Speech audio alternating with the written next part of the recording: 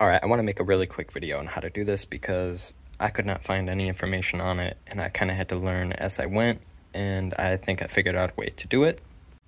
There are more than a few videos on how to depower a Integra rack, which is the rack most people go with, but I have an EG rack here. It's what I have.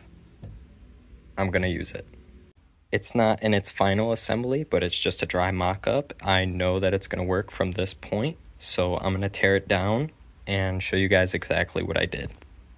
Alright, so I've assembled it to look like it would as if you just pulled it out of the, ra um, the car. Sorry. What you need to do first is remove the pinion. To do that, you need to remove this junk here and some junk down here. It's worth noting that you're not going to need any of the internals from this stuff. It's all in here. This just slides off and you'll have one C-clip here. You need to remove that. And then go ahead, turn the rack over to this cover here. Remove the cover. One more C-clip in there. Flip it back. And the pinion will just pull straight out. So this seems to be the biggest the biggest difference between the EG and the Integra rack is the pinion is actually one piece on the EG rack. on the Integra rack, it's two pieces, and it has some kind of clutch system or torsion system that allows for a little bit of play in the pinion, so the steering is a little bit smoother, but you're not going to want that once you delete the power steering. On this EG rack, obviously the pinion is one piece, so there's no need to weld it, but that bit of slop that the Integra ha- uh, the Integra rack has is here. You can kind of see that. This mechanism in here rotates. It's not a perfect circle, so that's where you're going to get your play if you don't find a way to resolve that. I'm going to go ahead and finish tearing down the rack, and then I'll show you guys what I did to resolve that issue. Next, you're going to want to remove this adjuster. This adjust the tension between the rack and pinion, eliminates any slop or play. You take it off, you'll notice there's a spring in there. Next, you're going to want to separate the housing, undo these four bolts. It is spring loaded, not by much, just be wary and keep a hold of all the parts. I will try to film it.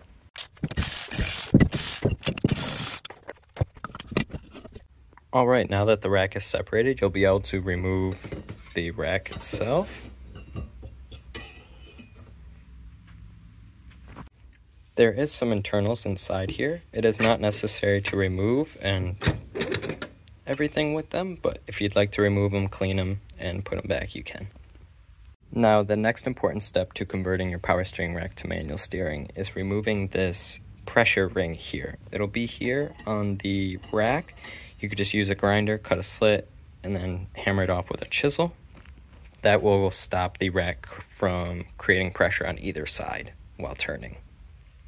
So now that the rack is disassembled and the rack itself has the ring removed, there's only one more issue that we need to resolve, and that is the original issue I showed you guys with this play here.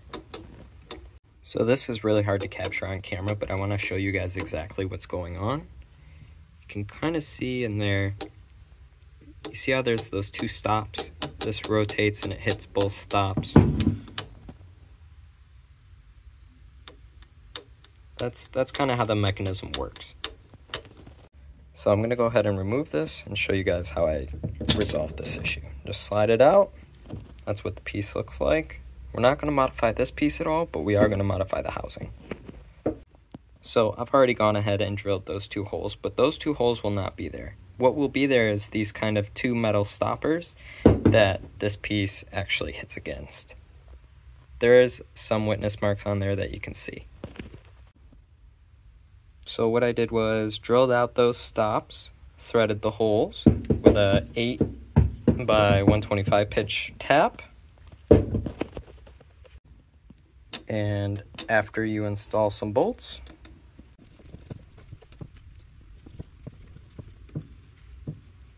Try to make sure that they are equal lengths.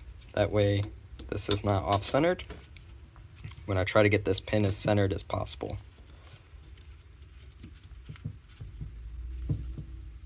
and as you can see, the play is gone. There's no play.